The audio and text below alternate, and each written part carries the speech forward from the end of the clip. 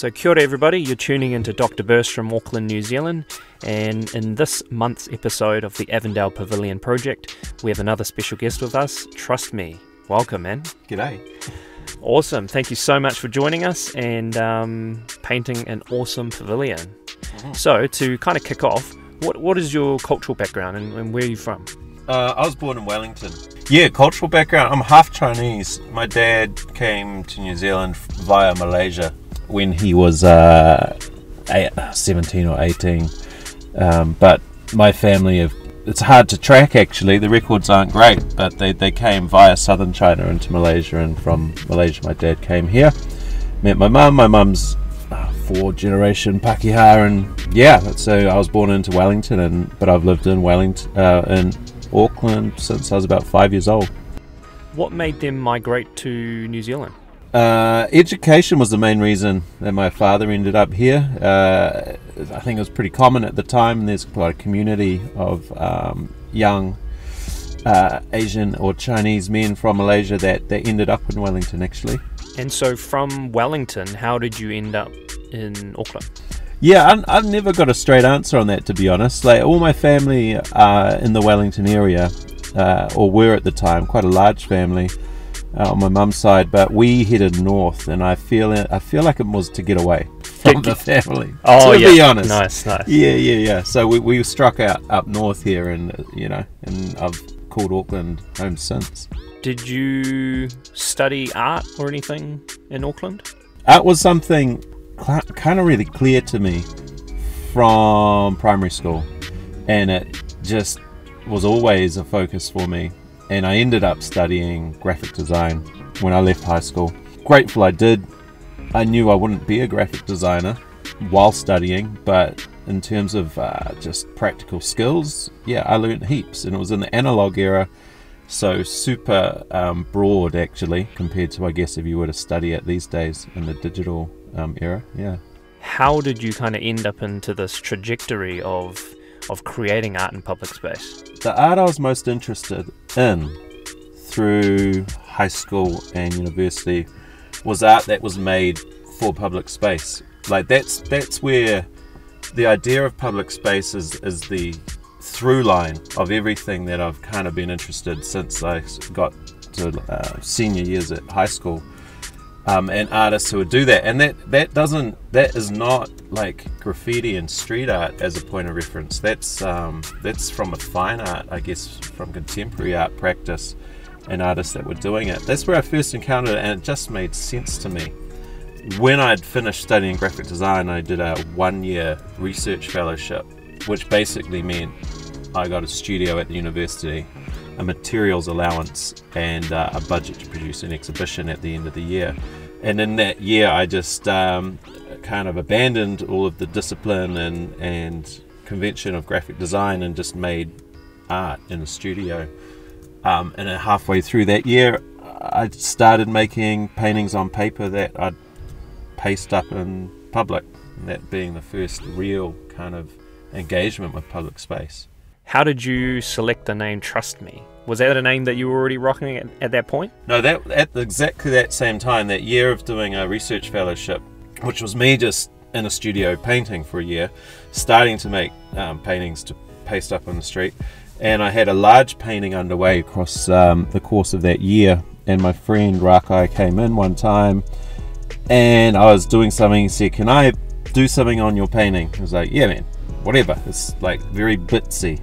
Yeah, I looked up a little bit later, and he had written "Trust Me" on it in a certain place, and he had put like a the T's were like religious crucifix like T's, like quite elaborate, uh, and he had put a halo above one, and the E at the end of Trust Me had like a devil tail. That's what he did, and I looked at it, I was like, that's cool because it's sort of like uh, contrast, you know, it had this sort of tension in it. And um, so I ended up calling the exhibition that I was making Trust Me. And after that, all the work I made just under that name. Yeah, so I guess it comes from him, to be honest. I know that during that period, you, you mentioned you were making a body of work, you're spending a year painting, starting to kind of get your work out there into the public realm. I know that you're also part of another crew that, that was formed called Cut Collective. Mm. Did that come quite a bit later, or was that Mm. a similar period of time? And why was it formed? Uh, it came not too many years later. I think it was probably around 2000 that I was in that studio making that exhibition and starting to play in public space.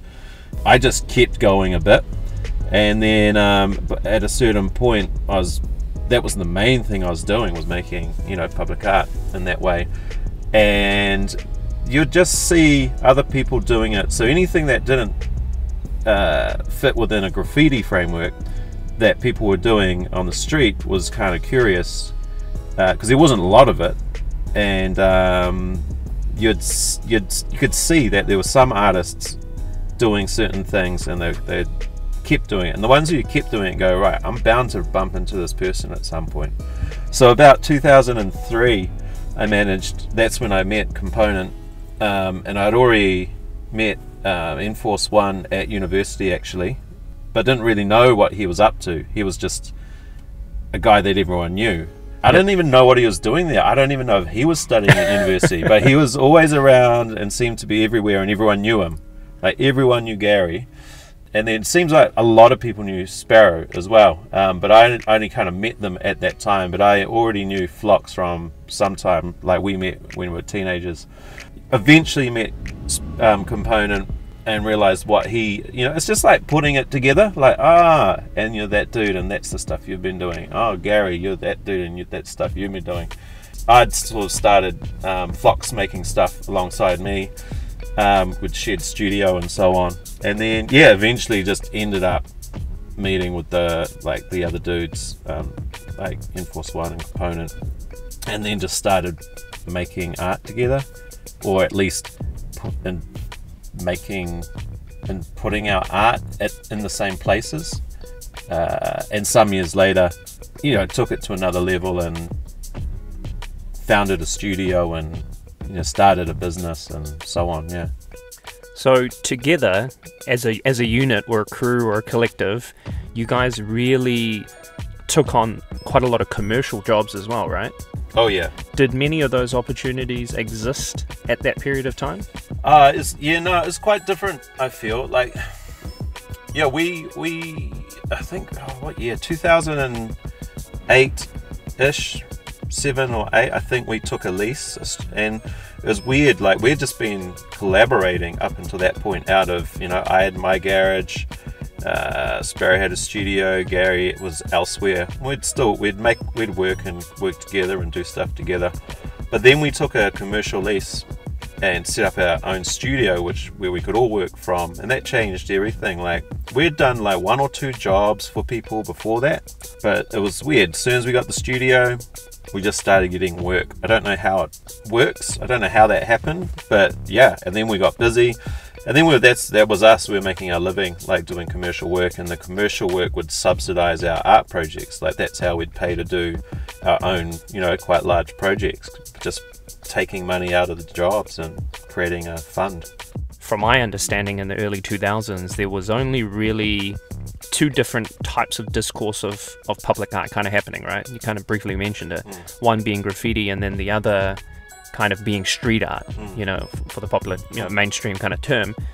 Is that the kind of work that you think you and your collective were making, or, Yeah. or do you not think you were fitting in that? No, we were. We, I, you know, we we we ticked all the boxes really because you looked at like graffiti was already well established and it's quite easy to articulate what it is, and to some degree, um, anything else, and there were there's some set formats that the work takes and set forms that the work takes and the methods that are used and so on. Shares the public space with graffiti, but quite different, like real different ideology.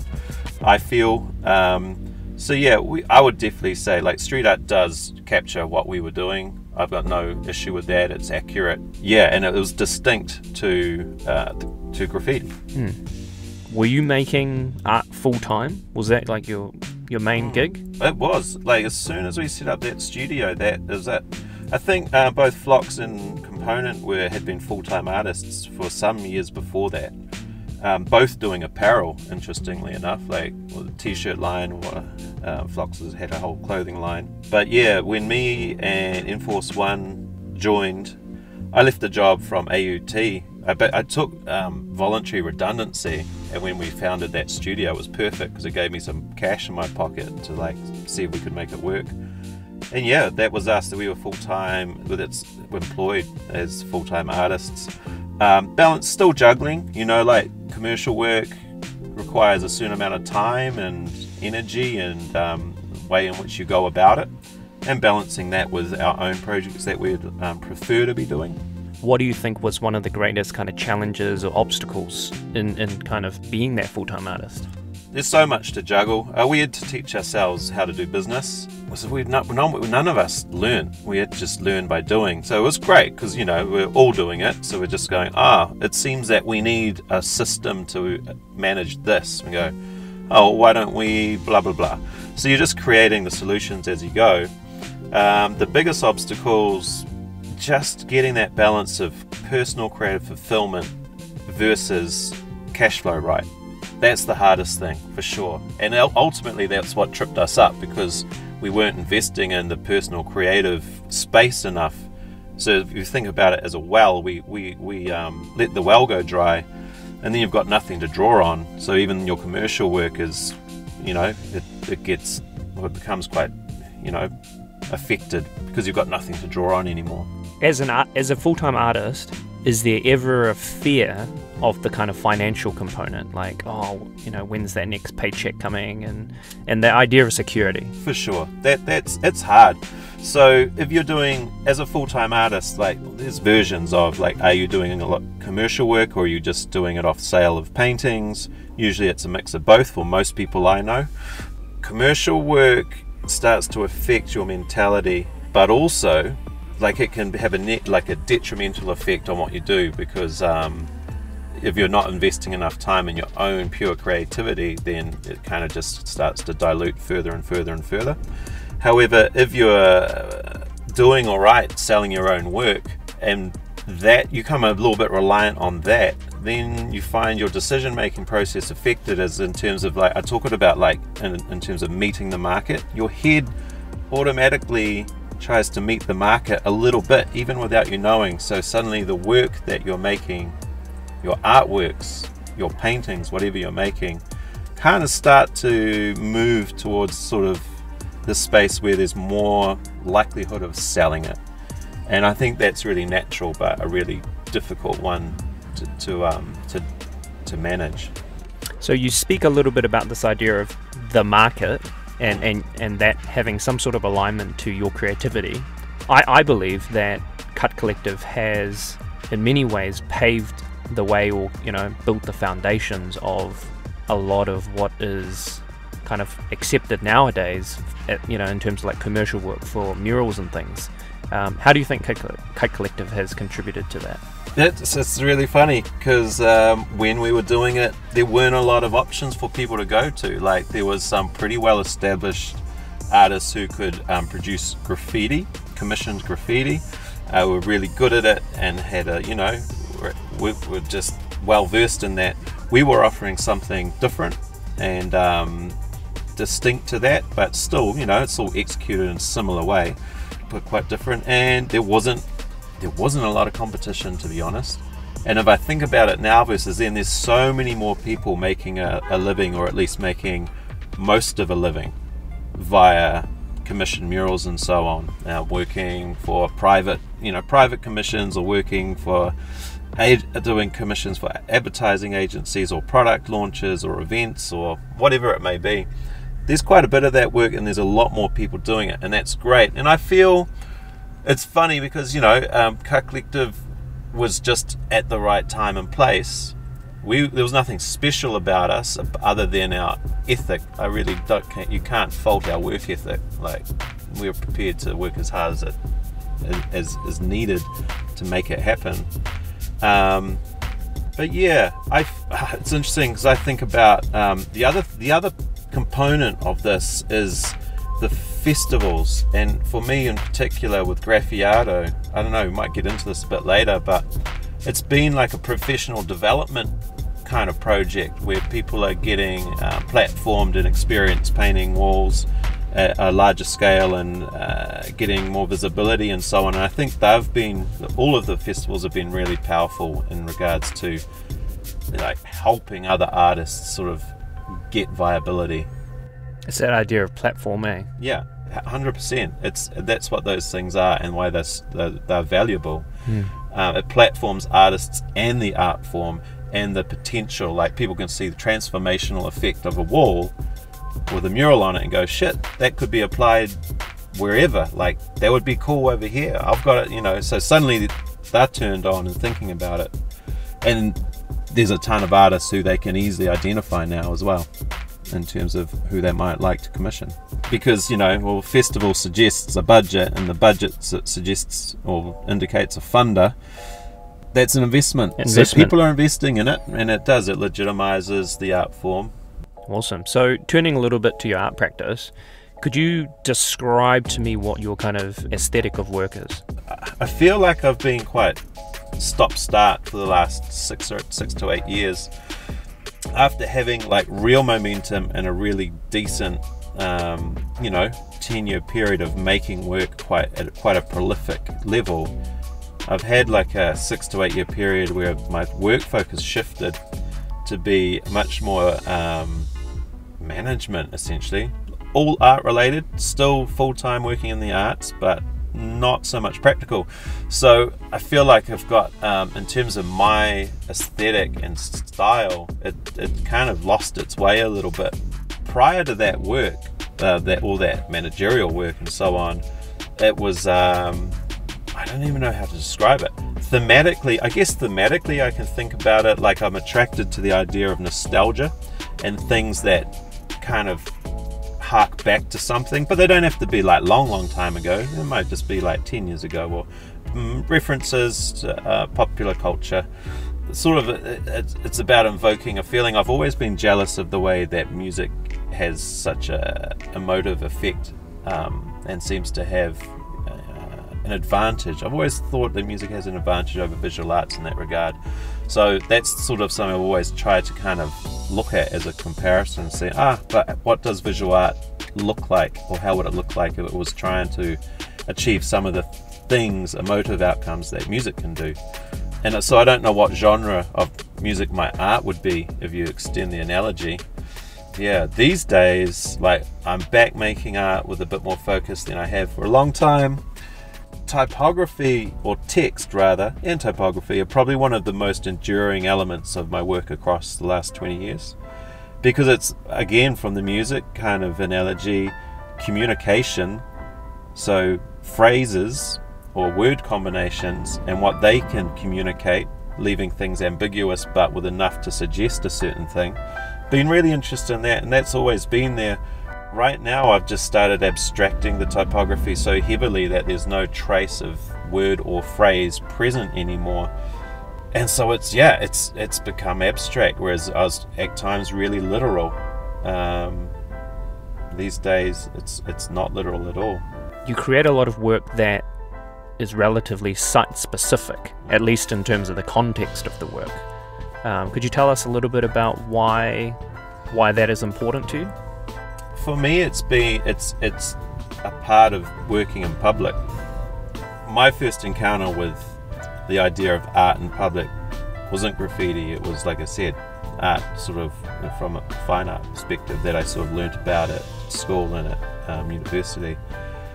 While you're choosing, well, maybe you're choosing, you're choosing, or someone's choosing, or something's dictating where that work goes. Um, and if you can, I just think it makes sense to respond to that. So, and this is having the luxury though. So, this is where murals and commission murals have an advantage because if you're doing something illegal or without permission, you, that's not a luxury because you're dealing with time and legality and so on and so on. If you've been commissioned to do a mural, you have the luxury of time and therefore you should give it due consideration. Where is this geographically? What's the relevance of the site? Socially, um, politically, um, culturally, all of these things. Um, what's the yes history of the site? Like all sites are loaded with the history. There's so much interesting stuff as an artist as to, to, to, to work with and then when you then what I really enjoy about it is you you you basically engage in some research and you come up with some stuff and you go what's interesting about this stuff like where is the interesting part of this and often you get a sense of that and then you go and what about now? Like apply a contemporary modern filter to it. Like how is that relevant to now or how is that relevant going forward? Because i really don't like murals that just are historical tributes and nothing more.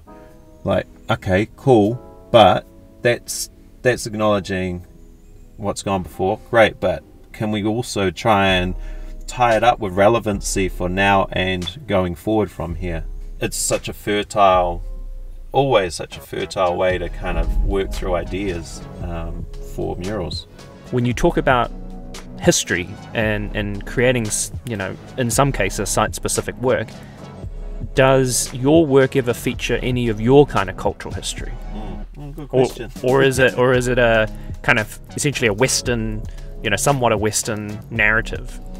Interestingly, like when I was making a lot of street art, it was kind of all passing through a personal filter about me without really ever going through a personal cultural filter, however.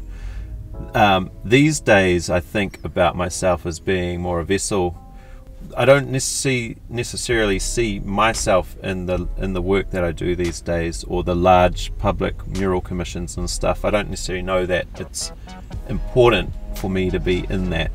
Rather than, like I said, I'm just a tool which is bringing together all of the site-specific background, history, and so on, and applying a, a, a, contemporary filter to it to try and make it engaging and meaningful for the people who live and work and play in the place where the artwork's going. So, but my in my own practice, like art making practice, I mean, yeah, it wasn't until two, three years ago that I started even feeling like I was equipped to address ideas of cultural identity through my work because it was just a real unknown. I ended up in 2018 living in Malaysia for three months at doing a residency and in the same city where my dad's family is from, where his family are from. I used to go there as a kid relatively frequently, but I'd never had a professional or adult relationship with the place. And this, so I did. I managed to sort of get this. So in that time, yeah, I felt like I was starting to equip myself to actually explore culture, my personal cultural identity.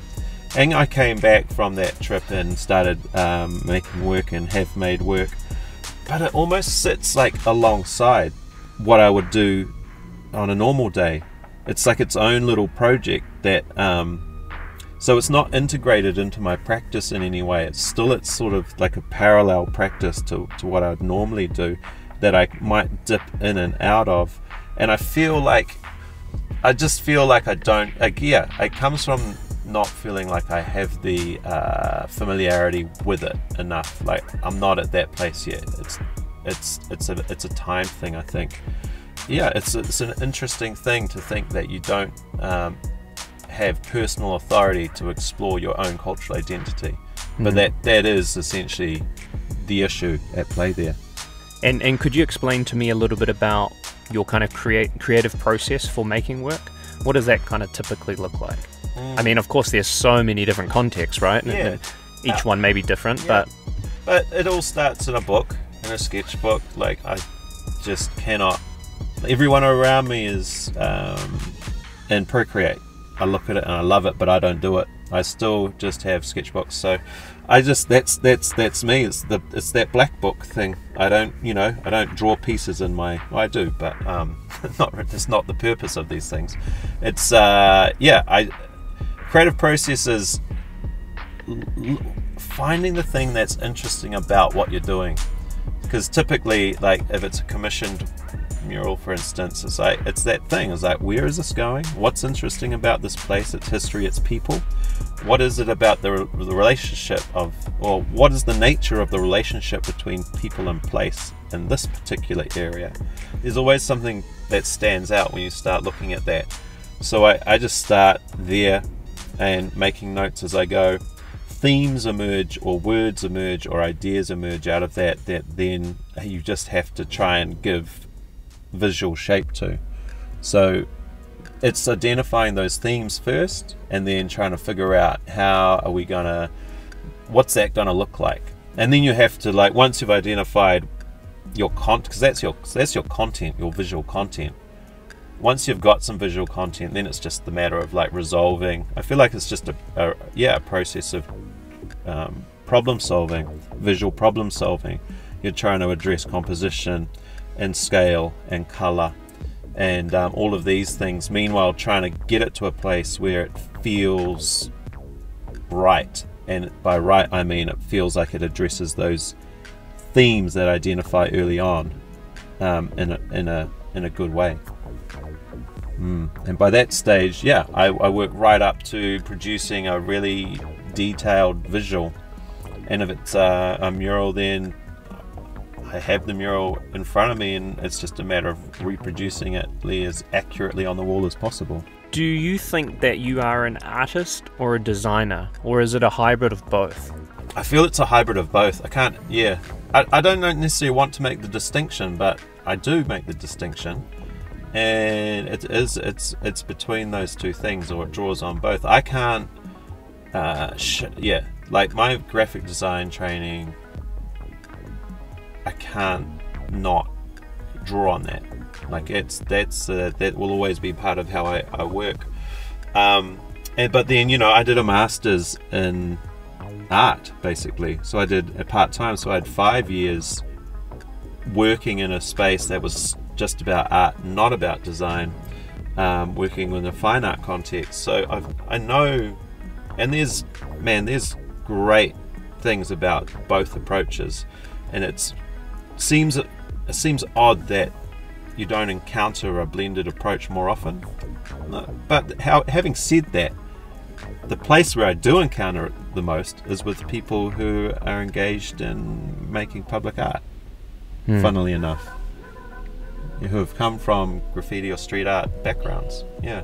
And and so with this particular pavilion that you recently painted, could you explain to us what the concept behind that was? Mm. I mean, kind of like what I've outlined. It's like, where is this thing going? Okay, so it's uh, in Avondale. It's on an empty lot. Um, this empty lot is, from what I've always known it, it has is being is called Three Guys. So it's like, ah, you paint at go paint at Three Guys. Three Guys being an old supermarket. So it's an empty lot because they knocked a supermarket down and never did anything with it. And this is where the, you know, these walls are that in Avondale that people go to paint. And so the pavilion sits on this lot. It sits on the Three Guys site. So it's like, okay, Three Guys, cool. The pavilion itself is such an interesting structure to have to paint. So many facets, so many sides. Big three, you know, three-dimensional thing um, which I haven't actually never dealt with before. But I realized when I was looking at it that there's three main viewing angles. Um, and so I was like, all right, so three angles to view this thing from more, but like I was saying, from three angles I can cover it 360 degrees. I can see every part of it if I stand in one of three positions around it. So um, I created three images uh, which are basically abstraction, three abstracted images of the letters G U Y S or G U no just G U Y so guy. So it's three compositions of guy, three guys, and um, I projected uh, onto that pavilion from the three different viewing angles, and then uh, drew my lines down, and then came back and painted it. So there's three paintings on that pavilion structure. Each one of them says guy.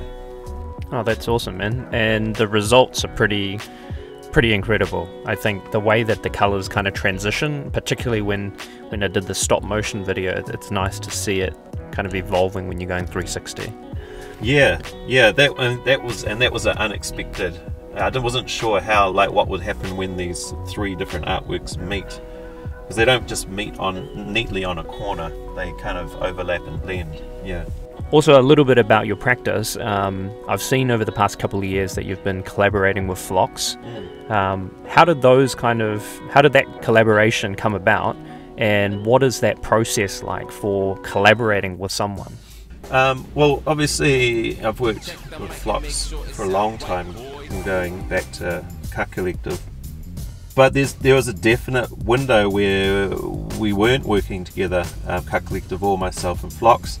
And in um, it was around 2018, um, she needed some help with, uh, in particular, large-scale projects. So she basically she's she's a maniac who just works non-stop, like non-stop. And I think she was having some issues with like, well, you can't just work non-stop forever. Your body, your whole system would be like, hey, hey, hey, hey, no, no. So she was, I think that that was at play, and so she wasn't able to work at her normal capacity.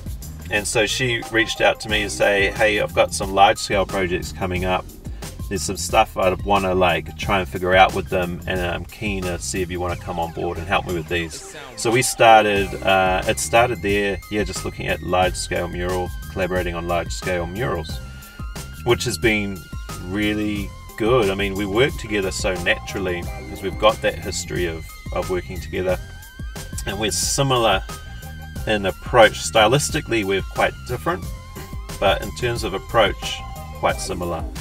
Um, so it's a very easy one. And you know, I've collaborated with so many people over the years. It's one of the main things I enjoy about working in the in art is um, and not you know and not just working along with someone on one thing like but going quite deep on the collaboration um, it's hard but it's very rewarding are there, are there egos at play when, when you're collaborating with someone else because one person might have an idea of you know the aesthetic or meaning or whatever, and then how is yeah. that kind of negotiated? Ah, there's definitely egos at play, and um, Component used to always talk about it like leave it at the door when you walk into a collaborative project, or you know, Collective was a everyday, year after year collaborative project, and um, essential to leave your ego at the door it's hard though, it's, it's impossible to separate it entirely. But you kind of adopt roles. That's sort of what we found. So, oh, okay, like you're quite good at this and your artwork is quite um, successful when it's used in this way. Okay, well, noted. Other people's artwork sort of has a different role and, and works in a different way. So it's really about understanding that as much as it's about understanding the person yeah, and once once you've got got that and um, and able to to keep that all in mind, it seems to work quite um, smoothly.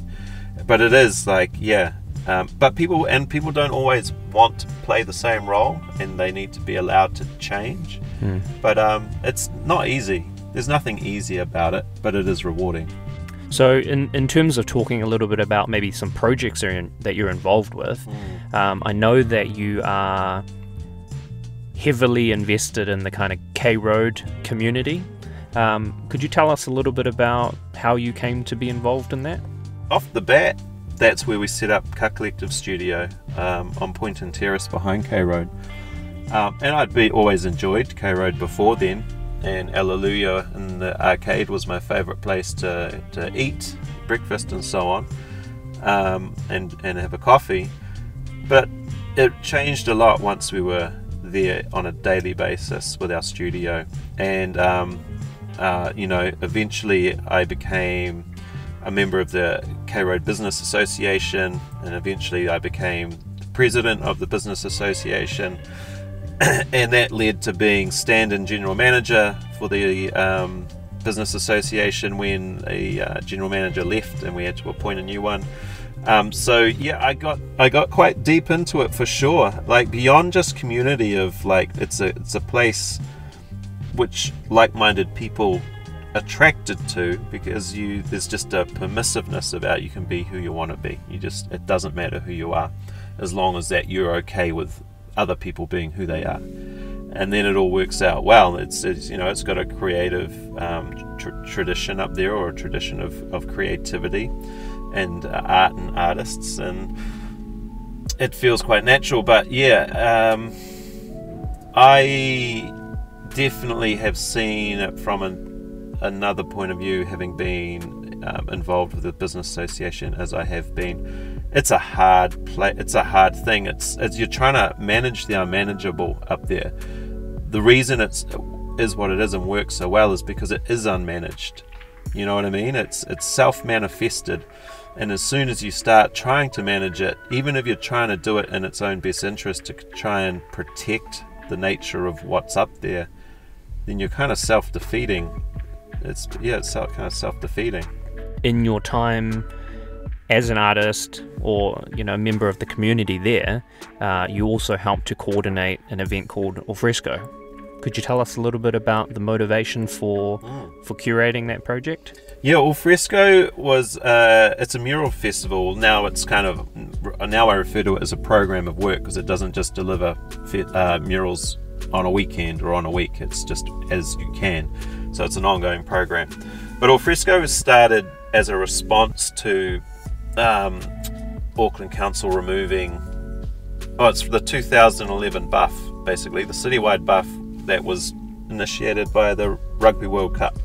It's when they um, just went so hard across the city and removed so much stuff. And in the K Road precinct, there was had always been a level of both illegal um, and well, mostly illegal actually, or kind of you know grey area um, walls and like man, it used to be it used to look quite different, obviously.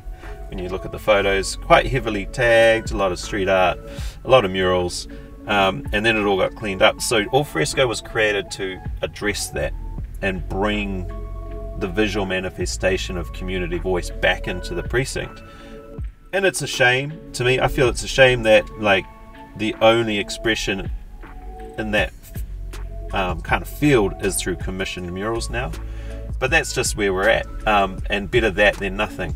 So Alfresco's probably uh, 30 to 30, 30 to 40 murals it's delivered into the precinct um, since it started, which isn't a lot, but it's been on hiatus for a while. But um, yeah, it's it's it's it's useful to have um, because you know without it we wouldn't have a lot of the kind of I guess signature murals that are in the precinct. How resistant do you think, say, the council is to to events like this these days? It's an interesting one, eh? Like, because having worked with council a bit in a number of different capacities, it's such a beast of an organisation, and it's like a multi-headed beast. And um, the heads don't know what each other's doing. You know, it's a very siloed place. So, if you talk about um, interest for like street art or murals or whatever, it depends which head you're talking to of that beast. So lots of different departments have different positions. I know that, for instance, uh, within public art, because there's a public art, public art unit at council, there's zero appetite to engage in murals. That's totally cool. They don't have to. Um, but then within, uh, say, community empowerment, another part of council, they they realise it's quite an effective means of engaging with communities. So there's differing appetites for it depending on who you're talking to within council.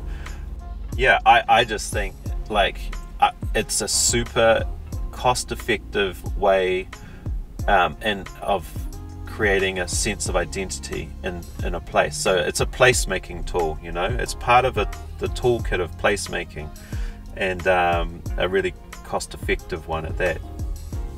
Absolutely, man. And and I know that beyond K Road, you've also been involved in doing stuff in Taupo.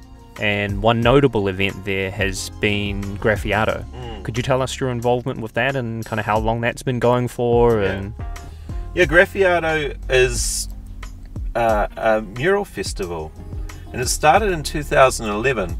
Um, and I just answered an ad uh, in the big idea, I think and um, they were looking for someone to curate this festival. And I was like, I, I reckon I could do that because I'd started kind of focusing on that kind of work within Cut Collective. Um, so when we were doing large projects within Cut, large our own large art projects, I was often working in that coordination role. Um, and so this was just like, ah, this is, I've done this. I know what this is. I know who the artists are that would want to take part in an event like this. Kylie Hawker Green, who started the event, had basically been to Melbourne, seen the laneways, and gone, We've got laneways in Taupo. We've got lots of laneways. Why can't this be here? And that's what, yeah. And so she came back and started working on it, putting it together, and, and raised some money. And uh, yeah, I applied for the job, got the job, and in 2011 we did the first Graffiato with, um, mm, to remember, about 20 artists or so. Yeah, and it was um, pretty loose. Do you recall how many murals have been created during the course of this event? Yeah, so last year was the 10th year of it, Graffiato, and so I got into the detail with it and I was looking into this. And the closest I can um, say is that we've made uh, over 140 murals um, in that time in the Taupo area. Yeah. Wow. That's incredible, man. Yeah. What a what a contribution to that city. Yeah, and the idea or the aim becoming over the, the years trying to achieve the, the largest survey or the widest survey of New Zealand artists who practice mural painting in one place. So Taupo is, and I, I believe it is, like the widest survey of New Zealand mural painters in any city in the country. Because um, we've had about 70 i think it's about 78 different artists have produced murals um, over that 10 years. Is it is it a project that's still ongoing? Yeah because i know i know yeah. that you had kind of like stepped away from it right? I have i, I retired. Uh, 10 years is probably too long for one person to do that job to be honest. Um, and i finally left it and passed it on to um, someone else and yeah so it's still going uh, there's no intention of it stopping um, it took a few years for the um, for the value of it to be understood. I think uh, we were in the first year we were like weary. We were thinking about letters to the editor that would be appearing in the local newspaper. Um, and we're thinking of you know like what's our what's our comms strategy for when people are telling us they hate it um, but it never really happened but it did feel like there was indifference though for I don't know a good three years, four years maybe, and then um, the cumulative effect of the more murals, more murals, more murals, and they could see that people were like actually coming purposefully to look at murals. So suddenly, you know, um, it became a thing. Yeah, uh, it's destination marketing. Shit. Okay, now we've got this asset and so yeah, it, it, it, changed. So they, there's a, definitely an appreciation of the value of it now. Yeah, the council is it's it's funded. It's delivered by the local um, business improvement district, which is a bid, which is exactly the same thing that the K Road Business Association is. So it's delivered by that um, organisation that um, is uh, given the money or the budget via council. Awesome, man. And one one third project that I really want to talk about is your involvement with a kind of video series or documentary called "If These Walls Could Talk." Yeah. Could you tell? So long ago now. Yeah. What what year was that? 2014, I think. And what was the motivation for doing that? Oh man, it's one of those things where I'd worked on I'd worked on four seasons of an arts TV show called The Gravy, and it was amazing experience for me. So I basically got to travel around um, the country, meeting artists and talking to them about what they do. And most of the artists featured are like well off the radar. You know, they're not they're not um, what you'd call well known or successful in terms of uh, uh, when you think about artists and artists represented in dealer galleries and, and institutions and so on. Um, they were just people making cool stuff. And um, that was what that's one of the most enjoyable things I've done. And uh, there was a fund, a New Zealand On Air Digital Media Fund, that I, I saw was looking for um, submissions, and I, I put in a submission and I talked it up, and basically I wanted to do what I'd been doing with that when I was working on the other TV shows. Like I just want to go talk to a number of artists about what they do because I think what they do is really interesting and there's a story to be told about it, and I think it'd be interesting for other people. So I wrote up this application and um, got it got accepted, which freaked me out a bit because now I'm suddenly having to make a, a web series. And I know how to do it, but I've never done it. Like you know, I, I know what's required, but um, yeah, it was a it was a lot of work, and really grateful that had the opportunity and ended up making five, you know, five stories about five artists um, from New Zealand who whose work I thought and who I thought were really interesting. And if I could, like, you could make 50 of those easy. And that was back then. You could make more now. Um, everyone's story is interesting. I find like there's always something um, unique and interesting about it, and that might just be me being a geek about stuff. But ah, I know plenty of people who also find it interesting. Would there ever be an appetite for you to go down that road again? I'd love someone to do it. I don't know. It's for me to do. Like, because I, I was working as a producer and director and whatever, and I, I um, hired camera operators uh, and soundies, and I base and an editor, and um, I put everything else together. And it's a massive workload. I'm not afraid of work, but um, at right now at the moment, I am wary of things that take me away from doing practical art. That's probably a good segue into where you are now as an artist. So, what are three key things that you've learned in your journey? Perseverance is like probably the top because that was one of the things that I've always admired the most about other artists, especially going around the country and meeting and talking to artists. You know, there'd be some in their 60s or in their 50s or whatever. They've just been doing that and they've never stopped doing that and they've never had um, a, a big profile, they've never had a lot of financial success, but they've never stopped. So perseverance is it. Like there is that's just what you have to do. It's a compulsion. That's and that's something that I like. That when people talk about this stuff, it, it comes down to a compulsion. If you have that compulsion, then you just have to accept it. Um, which doesn't mean it's easy. It's actually really hard um, because all around you, you're being I don't know. There's just so much telling you to not do it because it is hard. But it, mm. yeah, perseverance. That's it. That's basically all it is.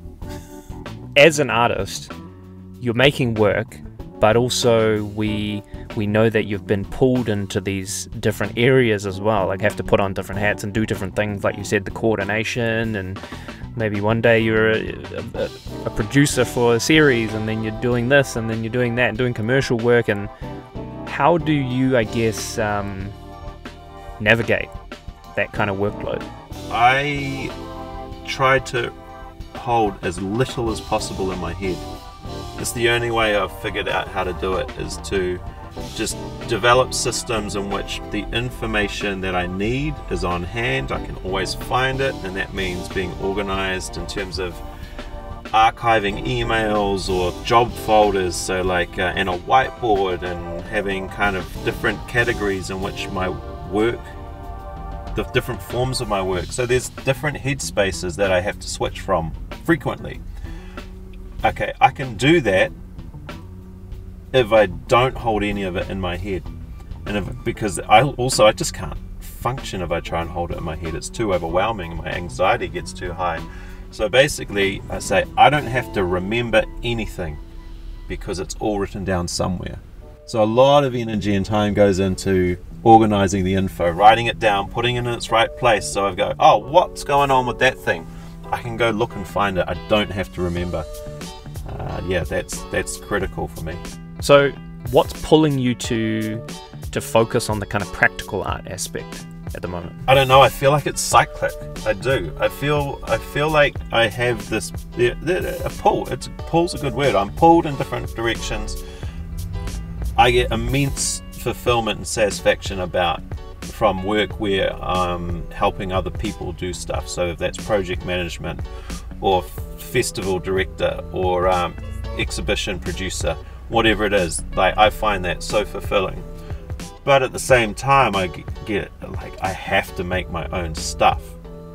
And at times, like that's the cycle, it cycles between those two things, and it seems to be. I mean, there's a pattern emerging of about six or seven years. I cycle between these two things, and right now there's a hard pull to be in a place where I'm making my own artwork and I just go with it. I'm just going with it, and um, the more attractive making my art becomes, the less attractive getting tied up with, um, you know, managing projects becomes.